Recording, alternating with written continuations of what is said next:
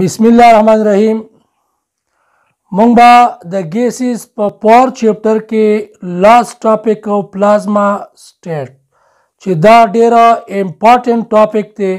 نو دا وګورئ او ښه صحیح زده کړئ پلازما چې دی دا یو ګریک ورډ دی او دې مطلب دی پاملیس میټر لکه دې څه پام شیپ نشته را پاملیس دی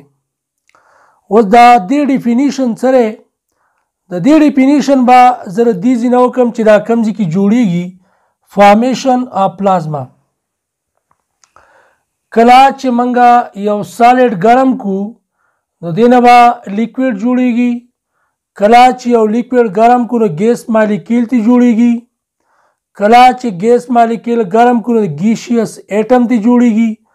او کله چې اټم نورم هیټ کو نو ځنې اټم به آیونایز شي الکترون به ورکی لاس به کی نو پازیټیو آین به جوړ کی او نیگیټیو الکترون او ځنې اټم به په نیوټرل پام کې پاتې شي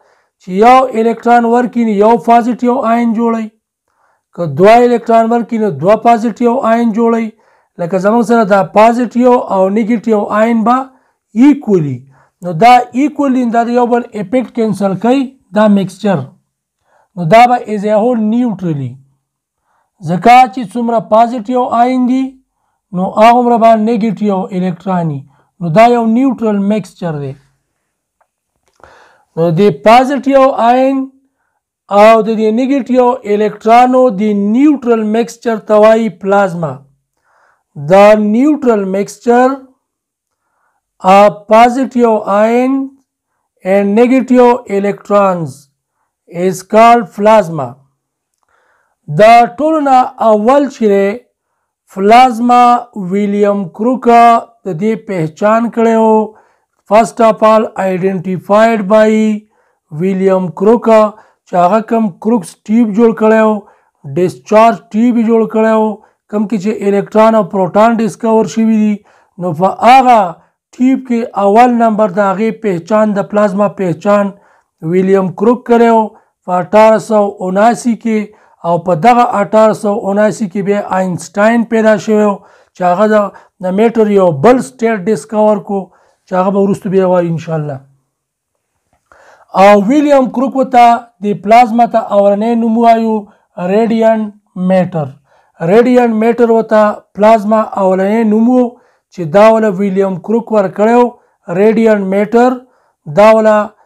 ویلیام کروک ور کړو په 1879 کې بیا وروسته په 1928 کې دا پلازما نوم ولا چا ورکو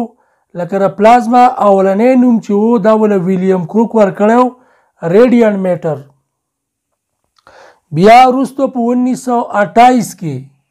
دا پلازما نوم ولا ایروینګ لینګمیور ایروینګ لینګمیور ولا به پلازما نوم کې ورو په 1928 کې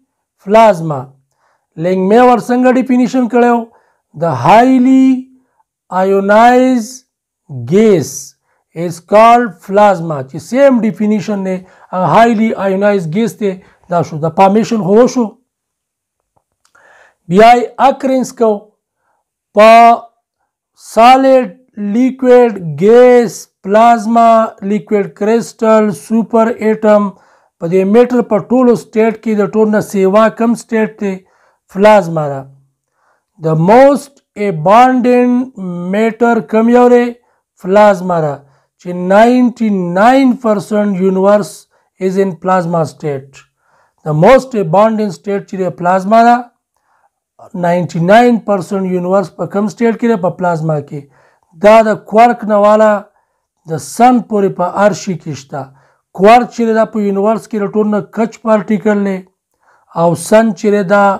غټ باډي دا 1.5 میلیون کیلومتر هارډ بال دی د پلازما نه جوړ دی نو دا به دې کې دی بل دا اټماسفیر اف سټار سن آینوسفیر لکه بر اوټرا اټماسفیر کې دا پلازما موجودي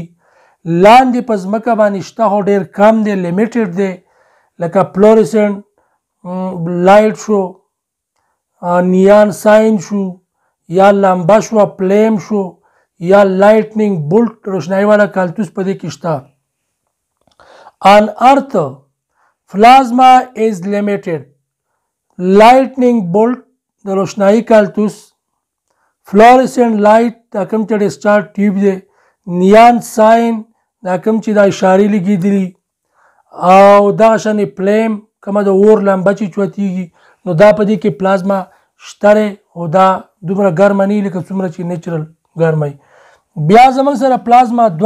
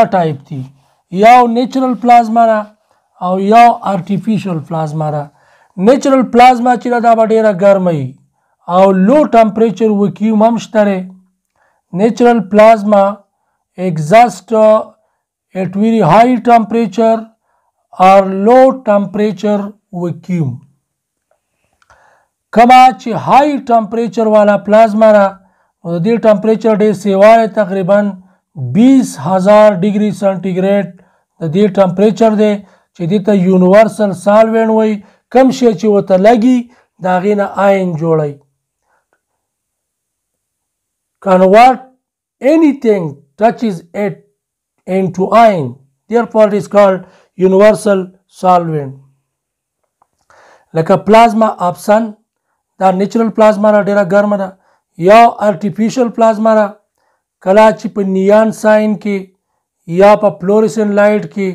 یا په ډیسچارج ټیوب کې چې کوم ګیس دی د هغې نه کرنټ فاس کې نو چې په هغه کې کومه پلازما جوړیږي نو دغه ته ارټیفیشل پلازما وایي چې دغه ټمپریچر به ډیر زیات دومره به زیات نه کم وي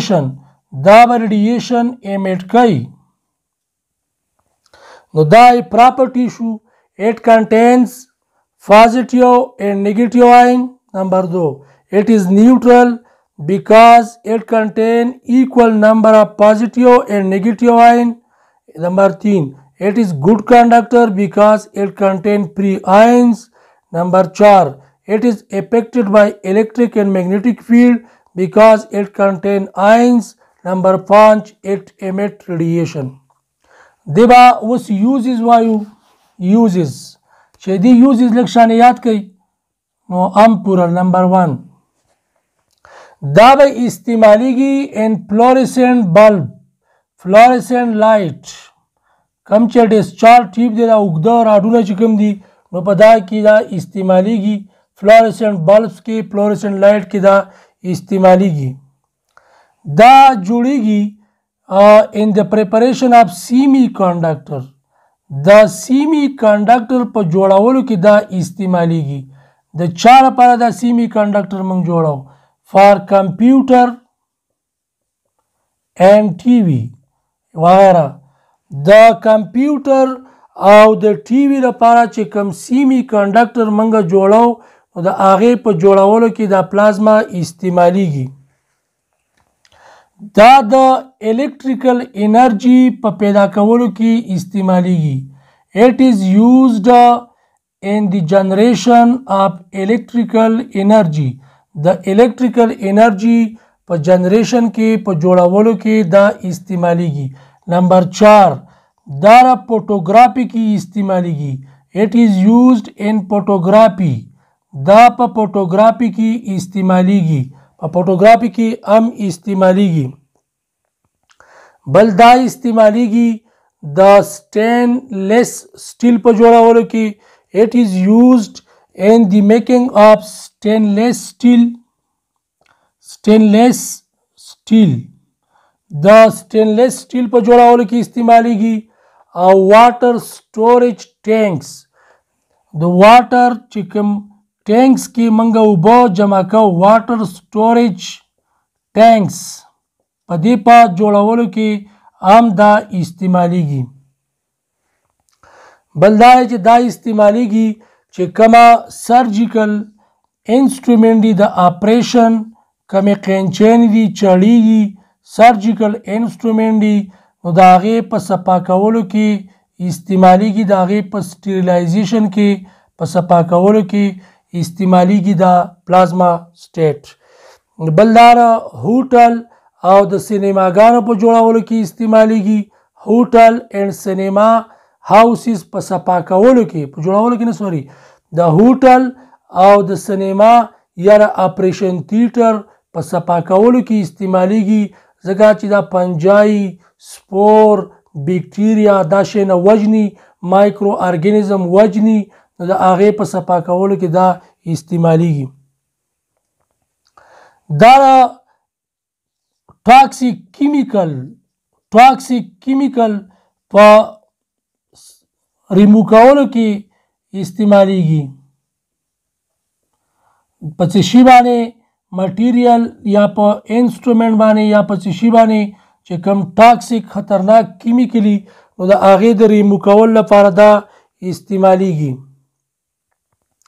بل دا استعمالیږي په هغه شینو کې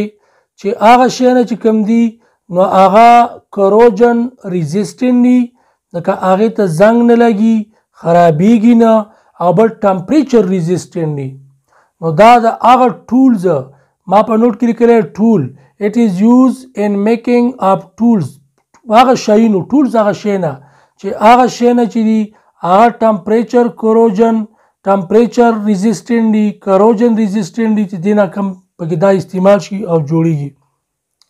بل دا استعمالیږي مایکرو پلازما ویلډینګ دا یو د ویلډینګ یو قسم دی مایکرو پلازما ویلډینګ مایکرو پلازما ویلډینګ دا استعمالیږي د میټل چې کم تین شیټ انتهایی نری شیټس چې د بل شي ویل وته نه کیږي د هغې په ویل کې د مایکرو پلازما ویلډینګ استعمالیږي په څه کې چې یو ځای کې څه شي تین تین ویری تین شیټ اف میټل دا میټل چې کم انتهایی نری سادری شیټی تاری او هغه په بل ویړ باندې څوک نشي یو ځای کولای نو هغه لپاره دا پلازما استعمالیږي چې هغه ویلډینګ ته وایي مایکرو پلازما ویلډینګ از یوز ټو جاین د ویری تین شیټ اف میټل او بل پس کې استعمالیږي اټ از یوز مایکرو اټ از یو ټو کوټ د پاسه په صادر چړاوي په شي باندې پر شي باندې چې د پاسه څه شي چړاوي لکه یو میټل چې د بل د پاسه چړاوي نو عام پکې دا استعمالیږي نو پلازما سپری چې دا دا پلازما چې موږ کله سپری کوو نو دا استعمالیږي ټو کوټ اني مټیریل اینڈ اني اذر سرفیس نو دا تاسو یوز زده کړه د رټیشن شیره چې دا استعمالیږي په فلورسنت بلب کې استعمالیږي نمبر 1 اټ از یوزډ ان فلورسنت بلب نمبر 2 اټ از یوزډ in the preparation of semiconductor for computer and tv number 3 it is used in the generation of electrical energy number 4 It is used in photography. Number 5. It is used in making stainless steel and water storage tanks, वगैरह. Number 5. It is used for the sterilization of surgical instrument. It is used in making of tools, kamshaino, which are which are corrosion resistant and temperature resistant. It is used in sterilization या cleaning of hotels, cinema houses. It is used in cleaning, sterilization of uh, mm, operation theater. It kills uh, bacteria, virus, fungi spore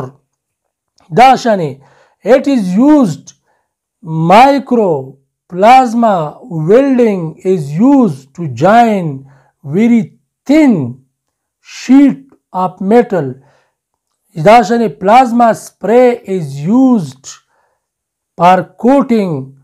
اف انیتینګ آن ادر سرفیس نو دا لږ شان یادول دي دا یوز یو د راټیشن شیو کوشش وکړئ چې بار بار زماره وایس دا ویډیو واورئ نو خبر ته یاد شي ثانک یو ویری مچ